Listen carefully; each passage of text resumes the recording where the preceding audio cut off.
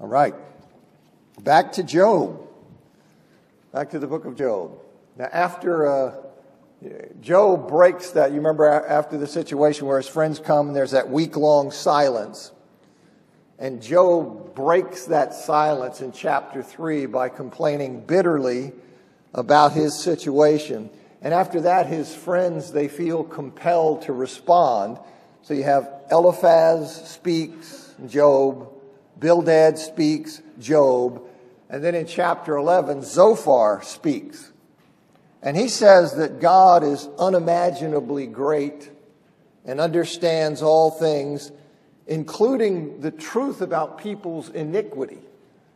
And according to Zophar, if the truth be known that, that God is, is exacting from Job less than his guilt deserves. And in line with Eliphaz and Bildad, Zophar says the problem really is Job's foolish resistance to enlightenment. If he just acknowledge his sin and repent of it, God would restore him to a blessed state. But if he won't, then there's no way of escape. All hope of escape is lost if he won't repent. And then Job responds to Zophar in chapters 12, 13, and 14 and he says the issue isn't God's power and knowledge, but the fact that he, Job, is a just and righteous man, but God's nevertheless punishing him like a, like a tremendous sinner. And as support for his claim that God is willing to punish the innocent, he cites the flip side of the injustice coin, the fact God is willing to bless the sinful that he's willing to give peace to robbers and security to idolaters. And then he says in, in 13 verses 6 to 12, he asks if they'll lie for God. If, if the, his three friends, if they're willing to lie for God, if, if they'll act as unscrupulous advocates who twist the truth into God's favor. And he warns them that God knows the truth and he won't be pleased with their partiality, their twisting the truth like that, their unfair assessment of Job's situation. He says God will rebuke them for what they're doing and that his dread will fall on them. And that happens in chapter 42, verse 7. And then he says in verse 12 that their words have no substance. And we move into 13 to 19, which is where we ended it at 12 last, or two weeks ago.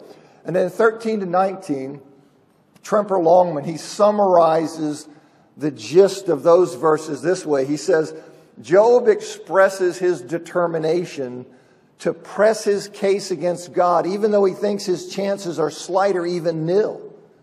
Nevertheless, he wants to go in and confront God's treatment of him in light of his innocent and blameless behavior. And we see in verse 14 of chapter 13, these two proverbial expressions there. They're obscure, but it seems clear that they mean to put something valuable at risk. That seems to be the meaning of these, uh, of these uh, proverbial expressions. That's clearly the meaning of putting one's life in one's hand. You can see that in other places. That, that means to put something valuable at risk. So presumably that's also the meaning of the former. Putting flesh in teeth is to put at risk, uh, is to put that flesh at risk of being consumed. So I think that you see when I put brackets here, that means that I've modified the English Standard Version. The default I'm using is the English Standard Version, but sometimes I put it in brackets to modify that. So I, I think that's what he's talking about is it means to put something valuable at risk. And the translation of chapter 13, verse 15, it's notoriously difficult, and the scholarly renderings of that verse vary quite widely. But what seems to fit the context is something like I have here though he slay me, I have no other hope. Nevertheless, I will argue my ways to his face, or I will defend my ways before him. See, Job believes God may well reject his case despite his innocence. Job knows he's innocent. He wants to confront God to put God to the proof. But he believes God may well reject his case despite his innocence because he's convic- convinced that God is quite capable of punishing the righteous. But he's nevertheless resigned to proceed because he's currently being absolutely crushed. He's being absolutely crushed and presenting his case before God seems to him to be the, to be the only option. You know, that's the, he's just getting steamrolled and devastated. So he says, look, you know, I basically don't really have any other options. Now, from Job's current perspective of God, a perspective that's born of prolonged physical suffering, going before God with an accusation of wrongdoing. This is this thing about putting something valuable at risk when he says, I want to go and confront God with this case. Doing that, see, putting, going before God with an accusation of wrongdoing, given Job's current perspective of God, it carries an anxiety you see, beyond what the lowliest of subjects would have felt in going before a king like Nebuchadnezzar with a charge of wrongdoing. You see, only somebody desperate, only somebody desperate would even contemplate doing such a thing. You see, so that's, that, that's a measure of his desperation, how difficult, how much he's suffering, that he says, look, it's just, I'm taking my life in my hands, but I got to do something. That's what I want. And verse 13, Job 13, 16, Job seems to be saying that whatever should happen, if he's able to force this confrontation with God, whatever should happen, his appearing before God, just the fact of his appearing before God will be his victory. It will be his deliverance from scorn in the sense it will prove his claim of being righteous, that, that, that his claim of being righteous was true because no godless person would dare to go in front of God.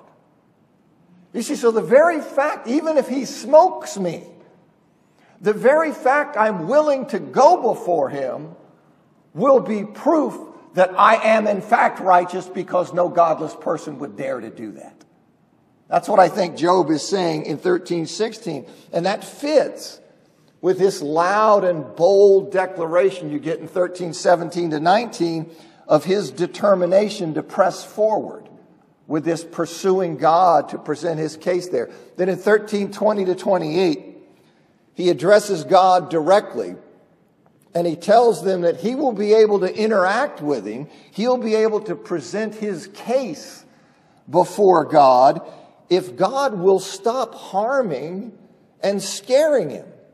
You see, in, in that event, if he's, if he'll stop that so Job can present his case to him, in that case, Job will demand an accounting of his sins that justify his suffering. He's going to go in and say, listen, you're punishing me though I'm righteous. Now pony up.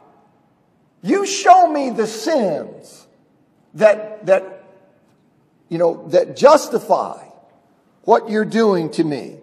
And, you know, he's going to seek an explanation of why God's treating him as an enemy. And he suggests there in 20 to 28 that it's beneath God to frighten one as frail and weakened as he is. And, and then, and then he represents the kind of pain that God is inflicting on him by referring to incarceration and the restricting of his movement by cutting his feet. Now, that cutting his feet is not reflected in the ESV, and I didn't sub that in. But this is something, what he's talking about there, he's representing the kind of pain that God is inflicting on him. And in verse 28, it reflects Job's sense of wasting away at the hands of God, which Job generalizes to mankind. And then in 14, 1 to 6, Job says, look, human life, it's brief and it's full of hardship. And then after emphasizing the brevity of human life, he complains generally that God scrutinizes human lives so closely and specifically that God condemns him. such focus and attention, it seems to be out of keeping with the insignificance of mankind's fleeting life. Why is God so obsessed? Focusing and watching just every move so that he winds up, you see, condemning him. He says, No man can free himself of all sin. You see, no man can bring a completely clean life from an unclean nature. But where's the justice in zeroing in on the failings of the relatively righteous? That's Job. Where's the justice in zeroing in on the failings of somebody like Job for the purpose of punishment while allowing the wicked to escape unscathed? Yes, nobody's going to come out of this thing perfectly clean from an unclean nature. But Job's question is, why are you treating me this way? You see, I'm a righteous guy. I'm a pious man. No phoniness. And yet I'm absolutely getting killed. Now, given the brevity of human life, Job calls for God to cease this punishing scrutiny that mankind, and particularly Job, so that they at least might find the joy comparable to that of a hired laborer.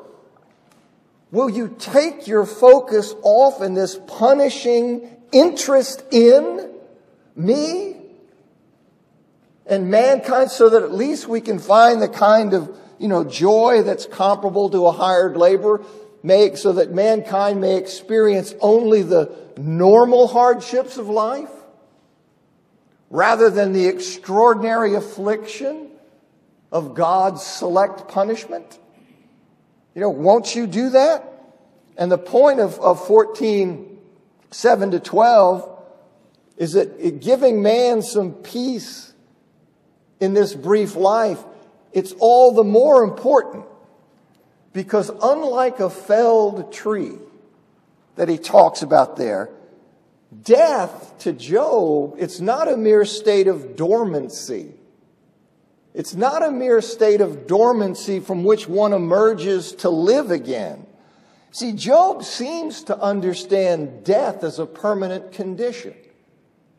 He seems to look at death as a permanent condition, to believe that this, this life is all there is. His statement in verse 12 that the dead man will not awaken, he says, until the heavens are no more.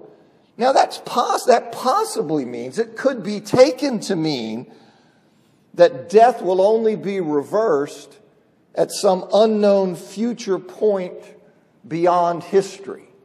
You see, a time of such radical transformation that the entire cosmos ceases to exist in its present state. And I think that kind of thing is happening. But the context of Job's statement, the context, in my view and in the view of many commentators, it seems to favor uh, the view that until the heavens are no more, that that's an idiom of permanence. Something like our idiom until hell freezes over. You see, it seems to be an idiom of permanence. In other words, Job is bolstering his appeal for God to give man some peace in this short life because when it's over, it's over.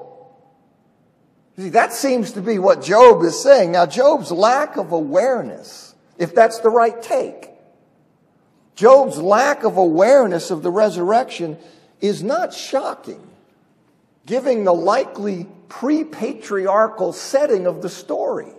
You remember, this is before Abraham. And God, the truth about the resurrection is revealed by God progressively. It is revealed by God over time. I mean, Job clearly is incorrect and uninformed about other things he says. So his ignorance on this point's not unique. And as I said a couple weeks ago, the normative message of the book of Job, the normative message of the inspired book, is not everything that Job and his friends utter. Right? You can parachute into Job and just pull out a statement by one of his friends or something and say, the Bible says. But if you don't understand the context of the book, you're missing the point. These people are rebuked at the end. You see? So if you don't know that what's happening in the book, you can't just pull that out and say this is divine truth. And so the fact Job, if this is correct, if he's ignorant of the resurrection, that's not saying God says there's no resurrection. It's just a reflection of one of the things about which Job is ignorant. So like I say, the normative message of the book isn't the thing, everything that Job and his friends utter, but it's the perspective that God brings to their entire dialogue at the end. When God comes and speaks at the end, now you look through that and that's how you understand what is God communicating through the book of Job. You see, you can't just go at it piecemeal, or you, I think you'll wind up in a theological quagmire. But uh, in 14, 13 to 17, he says, Look, though, though he believes death is permanent, if I'm reading that correctly, though he believes death is permanent, he says in 14, 13 to 17, that he would relish the prospect of God's taking his life, hiding him in Sheol. He would relish the prospect of that in the sense he there would be away from God's punishing attention. This attention that he says God is just under a microscope. He's got you there, watching every move, every thought, everything. And so he says, look, he would welcome this respite of God hiding him in Sheol, in the realm of the dead. You see, where he would be free from that punishing attention and then restoring his life after God's wrath against him had passed. He'd welcome that. If you put me in hibernation in Sheol, burn off all this wrath, just let me sit tight over there, and then brought me back, that'd be cool. You see, I would welcome that. I think verse 16 is best rendered as it is in the New English translation. There are a couple others, Revised English Bible, New Jerusalem Bible, uh, are similar. But I think it's best rendered as I have it there. Surely now you count my steps, then you would not mark my sin. You see, the meaning being that this, this critical scrutiny to which God is now subjecting his life would not exist on his imagined return from Sheol after God's wrath had passed. In other words, after he'd been put on ice, God spends his wrath, brings him back. You see, so he's saying here, when he says, then you would not mark my sin in this imaginary hoped for situation that Job has. But in verse 17, he further describes that different perspective toward him that he would welcome from God, where he says, and my transgression would be sealed up in a bag and you would cover over my iniquity. This is what he would hope for. Okay, what Job would want. And as Longman says, Job, quote, continues his wish for a future in which God overlooks his sins rather than being so precise in his attention to them. That's what Job is feeling. He's just feeling that, man, you know, you're just scrutinizing me at every turn and beating me to death.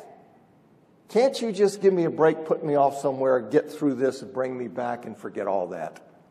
That's what he would like. Then he says in 18 to 22 of chapter 14, he moved from his wish, his wish that God would put him in temporary hibernation in Sheol until his anger had passed. He moves from that wish to the reality of what he's experiencing as natural forces, he says, as natural forces grind down a mountain, God, in Job's perspective, grinds down human hope by afflicting them. You see, changing a man's countenance from joyful hope to fear and anxiety and depression. And he then sends them to Sheol. So Job's view of how God is working now he takes this joyful countenance, grinds the person into the dirt, and then sends him to death. That's how Job. Now you look at that and say, how can Job be a spiritual? I keep telling you, you have to put yourself in Job's shoes of having suffered to the point his skin's about falling off and he's scraping, and this goes on and on and on and on. I don't know what I would do. As a righteous man, and having this theology that doesn't allow him to deal with this. So I just want you to always remember what, what Job is experiencing and what he's talking about. So here he says there that, see, these, as natural forces, they grind this down. While they, while people, they suffer at the end there, he says, look, they, they suffer while they suffer with whatever debilitating condition characterizes the ends of their lives. They're so focused on their own suffering that they're not even aware of their children's lives. And I think that's pretty powerful. He says, his sons come to honor in 21 and he doesn't know it. Now you see, a parent, when a parent is suffering so much that he's clueless to what's happening to his children, you know that parent is focused inward. And that's the point. He's talking here about the situation of life as he sees it in this now, uh, you know, just bent perspective of his prolonged suffering. Tremper Longman talks about the, his comment on the human condition. I wanted to share with you. he says, So why is life short and hard? The answer comes in Genesis 3 when Adam and Eve rebel against God. They replace God's sovereignty with their own. By eating the fruit of the forbidden tree, they try to define their own moral standards and not allow God to do so. You see, that's the, that's the event. It is a usurping of God's right to judge. I want to sit on the throne and determine. So that's what's wrapped up in that. And he says the consequence is death and suffering. Humans are alienated from God and from each other, from creation, and even from themselves. So why do humans experience suffering? Because of sin. Now I'm beginning to sound like one of the three friends. Job is suffering because of sin. However, I have repeatedly emphasized in this commentary and will do so till the end. The book of Job makes very clear that Job is innocent and virtuous, fearing God and turning away from sin, 1 1 and elsewhere.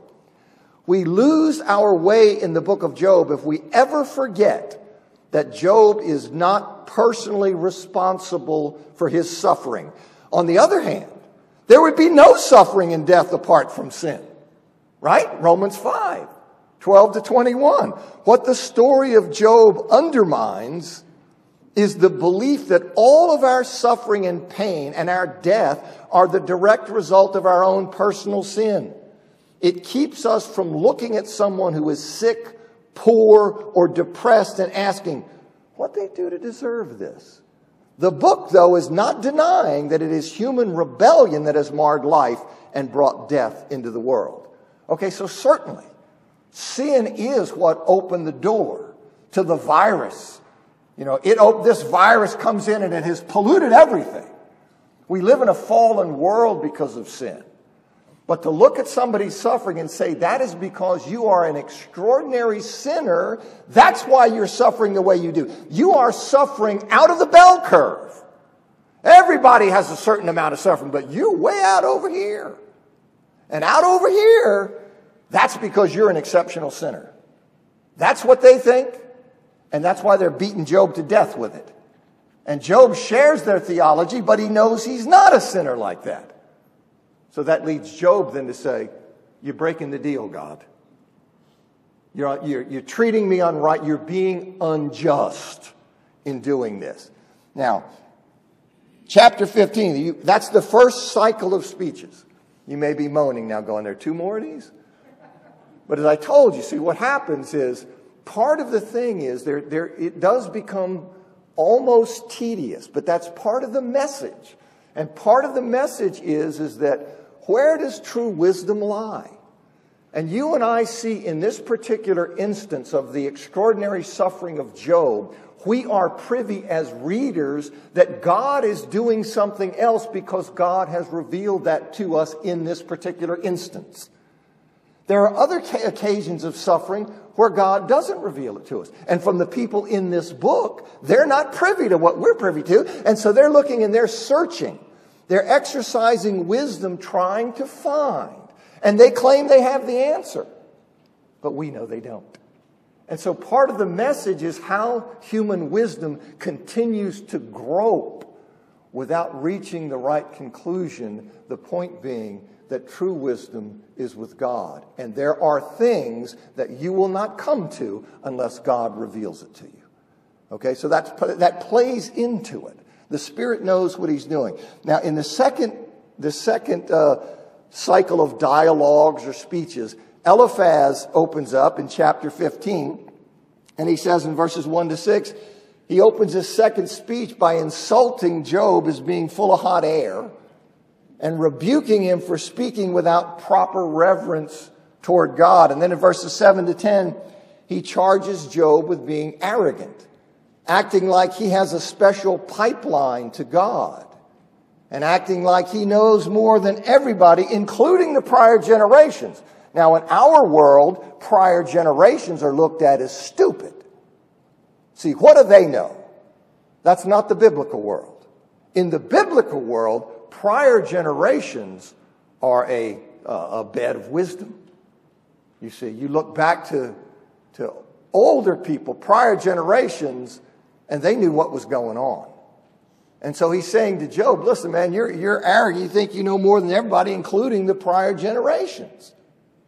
And then Eliphaz, in 11 to 16, he chides Job for rejecting the comforts or consolations of God given to him, presumably given to him through Eliphaz's first speech, specifically in the message Eliphaz had been given by a spirit that all humans are guilty of sin. You remember that in chapter 4, verses 7 to 12? Eliphaz sees his message, that message that all humans are guilty of sin that was given to him by a spirit.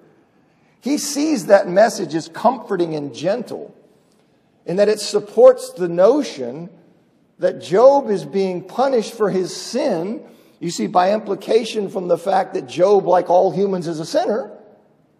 So it's saying to Job, you're being punished for your sin, and thus it points to the, the solution to his plight.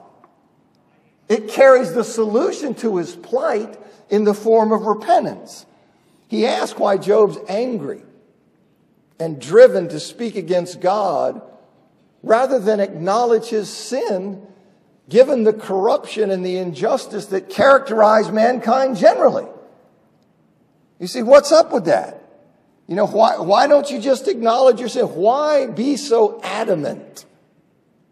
Why be so adamant in your claim of innocence in the face of humanity's track record, especially when the result of that is to wind up accusing God of injustice? Why don't you just fess? You see, why don't you just come clean? And then in 15, 17 to 24, he appeals to his personal observations and the wisdom of their forefathers in asserting that it is the wicked who suffers. He says, I've lived, I've looked, I've seen. It's the wisdom who suffer, and the forefathers knew that too. And so he appeals to those things in this enigmatic statement in 19b there that no stranger passed in the midst of the forefathers. That's probably a way of suggesting that they were so insightful that no one was a stranger in the sense that no one was unknown by them. They quickly could discern the truth about everyone, just a way of magnifying the prior generations who happened to agree with him that the wicked suffer. You see, so he says, look, I've seen it, I've watched it, I've observed it, I know the fact. Wisdom through my observations, the wicked suffer, prior generations are down with that. It's the wicked who suffer. You see, so that's, that's the thing that, uh, uh, you know, they understood that and they're so exalted that they could discern the truth about everyone. Then he says in 1525 to 35, he declares that the wicked will suffer because they defy God And then he elaborates on the horrors that the wicked will experience. He's trying to drive Job to repentance. From his perspective, that's what he, th- he thinks the solution lies there. And he's trying to, he lays out all these horrors, trying to drive Job to repentance because he views Job as exhibit A. You're the perfect, you know, you're the guy I'm talking about. The wicked suffer, you're getting blasted like nobody I've ever seen. And so you need to recognize that. See, in Eliphaz's eyes, Job is suffering so horribly precisely because he's wicked. Now, you and I know that's not true. But yet, this guy's just telling Job that, just pouring it out, this wise man. He's telling Job that's what's going on. See, Eliphaz, he was so fixed in his mistaken theology that nothing he witnessed in life and no protestations of innocence would make a dent.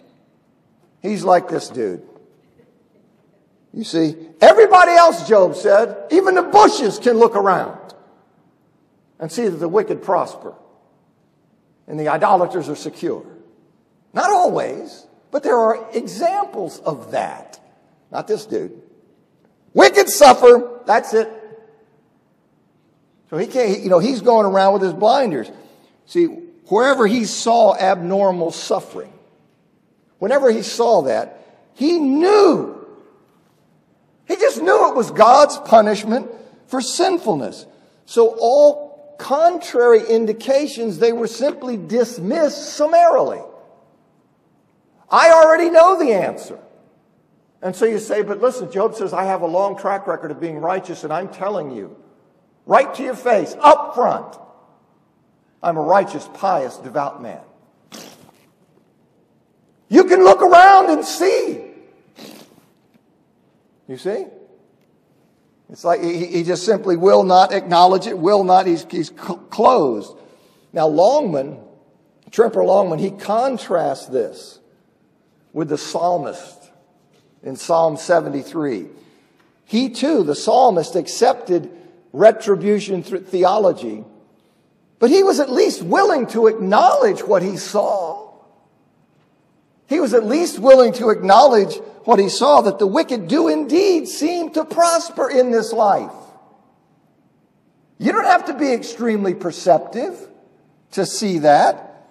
And this threw the psalmist into confusion, which caused him almost to stumble, he says. In Psalm 72, 73, 2 and 3. But he was driven by that to an encounter with God in which he came to a deeper understanding of God's retribution for sin.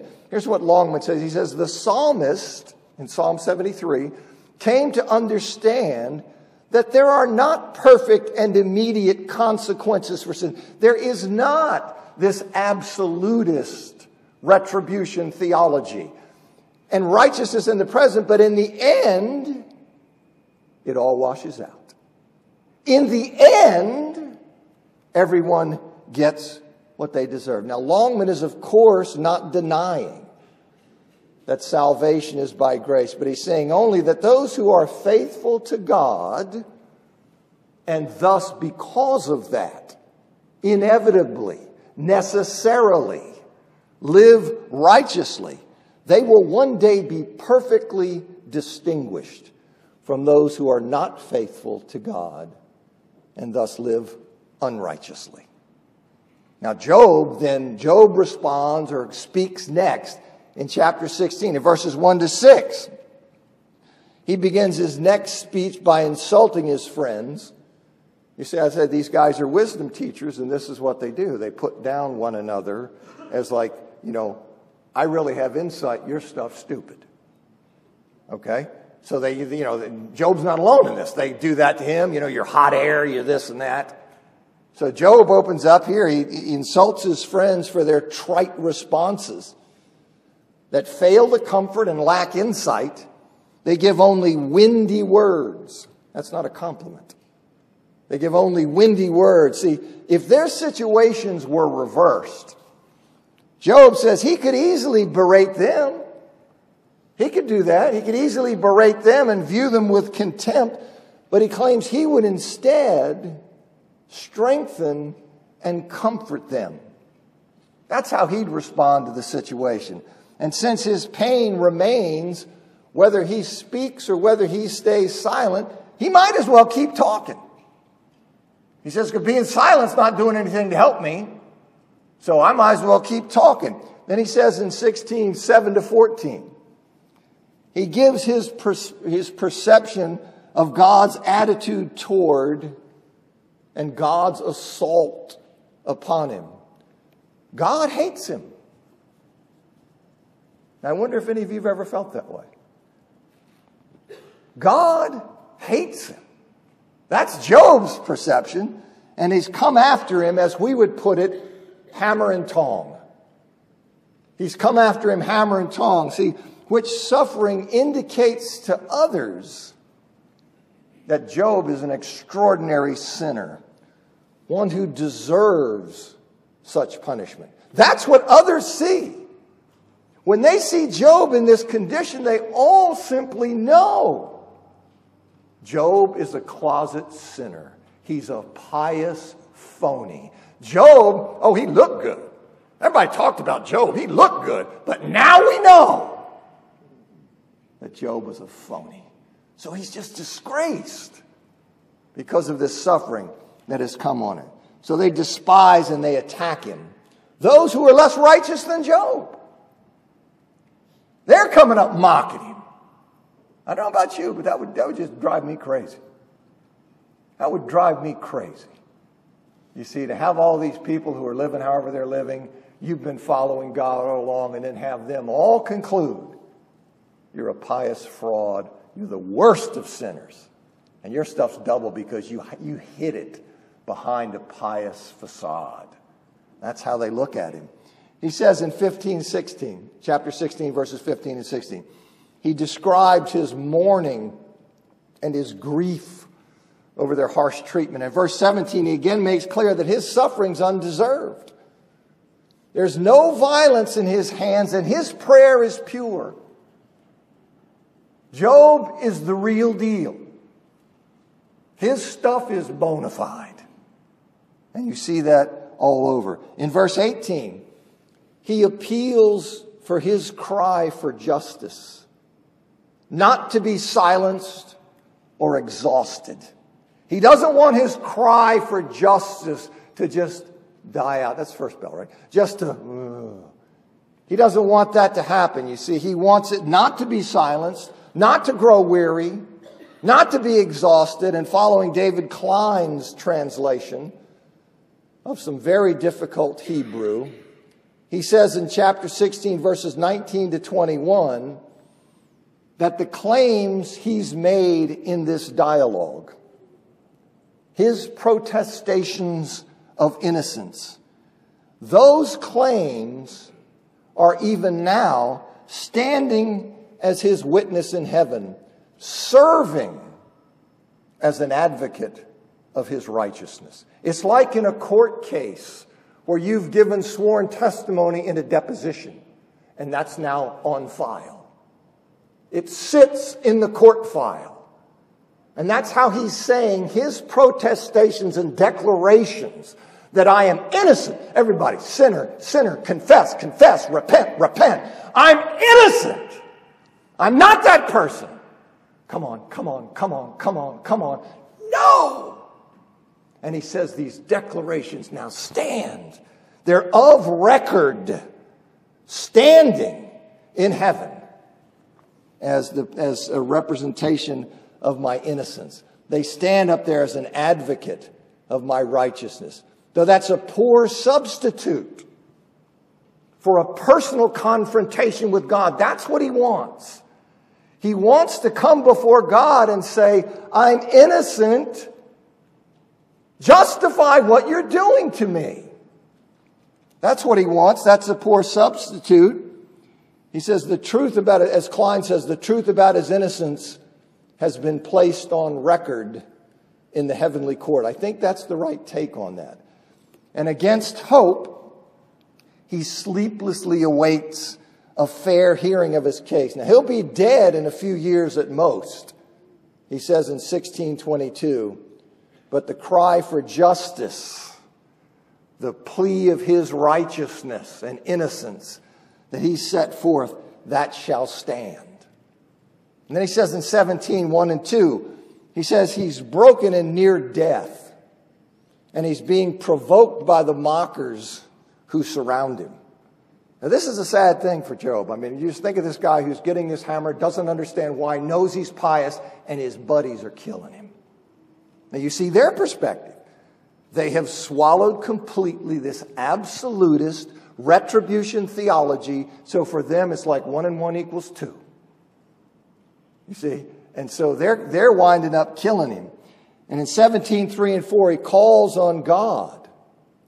He calls on God to vouch for his innocence, to put up a pledge on his behalf, because it was God who eliminated all of his human supporters, who turned all of his human supporters into mockers by blinding their minds to his innocence by punishing him so severely. When God punishes him so severely, everybody sits here and says, Yeah, Job's great, Job's great, Job's great.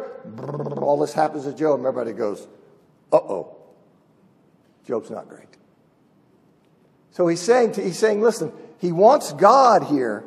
So he says he calls on him to vouch for his innocence, to put up this pledge on his behalf, because he's the one who has taken away all of Job's human supporters. You see, and it's a way of complaining about what God has done. It's like saying God owes him for having mistreated him. That's why he says, I want you to pony up. And the last clause of verse 4 is perhaps best translated as you will not be exalted. Following David Clines and Hartley and Samuel Balentine and some others. I heard that bell. Let me finish this last thing. You see, that, that, that part there is best translated, I think, as you will not be exalted.